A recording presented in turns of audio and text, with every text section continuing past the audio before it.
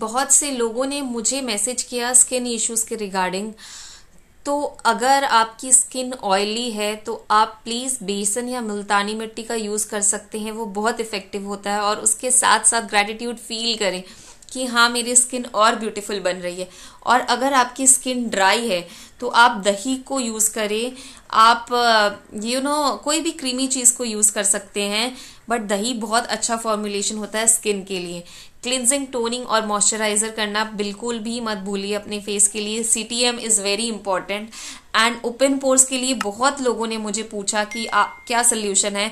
तो मैंने बहुत सारे सोल्यूशन ट्राई किए बट एक सोल्यूशन जो मेरे लिए वर्क किया और मैजिकली वर्क किया है वो है डर्मा कोका niacinamide lotion niacinamide serum ये मेरे पास है just a second this is the bottle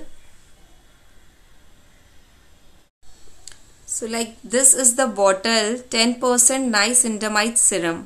Derma Co का है ये ये बहुत ज़्यादा इफ़ेक्टिव है, बहुत ज़्यादा अच्छा है। बट कोई भी चीज़ अपने फेस पे यूज़ कीजिए, इस बिलीफ के साथ यूज़ कीजिए कि वो आपके फेस को और ब्यूटीफुल बना रहा है, वो आपकी स्किन को और अमेजिंग बना रहा है। और आप यूनिवर्स को थैंक यू बोलते हुए यूज़ कीजिए। इवन इस प्रोडक्ट को भी थैंक यू बोल के यूज़ कीजिए। देखिएगा कितना मेरेक्युलसली कितना अमेजिंगली आपकी स्किन के लिए वर्क करेगा।